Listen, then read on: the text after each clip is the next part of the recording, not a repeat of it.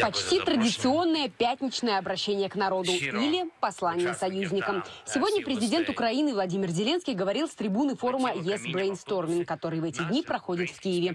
О войне, России, куда без нее, о своем президентском сроке и, конечно, Соединенных Штатах Америки. По словам Зеленского, страна уже одной ногой в НАТО, хотя и четкого подтверждения этому со стороны Запада нет. Да, мы не отримали, скажу вам. Да, мы не получили прямой позиции США относительно вступления Украины в НАТО. Мы можем положиться на США, потому что у нас сегодня отношения на другом уровне. Мы готовы к НАТО. По уровню нашей армии, уровню наших специалистов.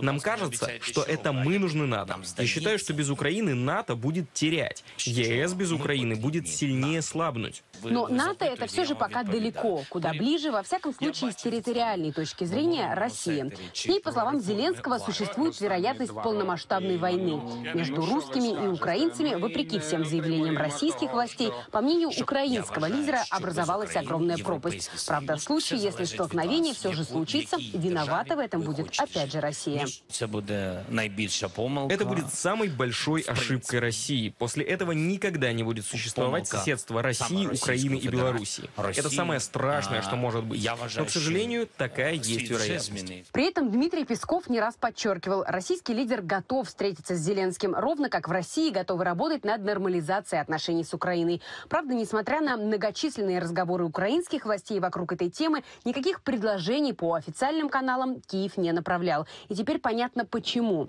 Как заявил в ходе форума Зеленский, у него просто не хватает времени думать о Владимире Путине. Я, честно говоря, честно говоря, не хватает времени думать о нем. Про него. Пусть его страна и он не обижаются.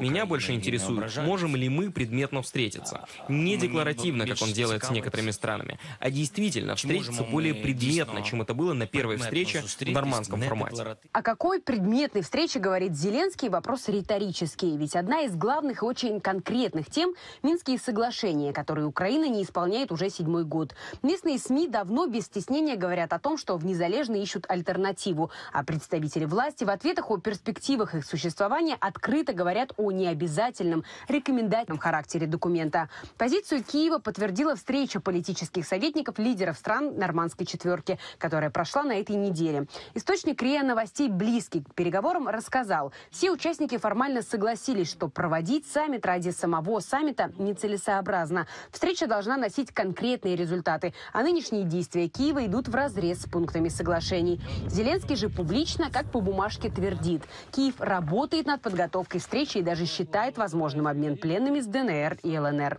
Все его заявления о нормандском формате, где он говорит, Естественно, они не могут состояться, потому что э, аппарат президента Украины, вот и все эти там депутатский корпус, они не выработали четкой программы. У них своя. Они стараются отказаться от тех формулировок, которые были э, прописаны в нормандском формате.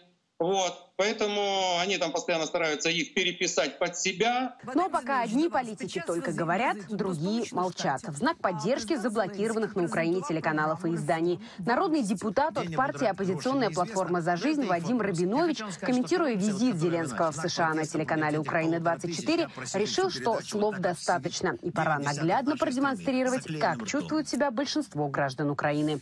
Мария Слободянская, Игорь Белозуб и Анна Погонина. Вести.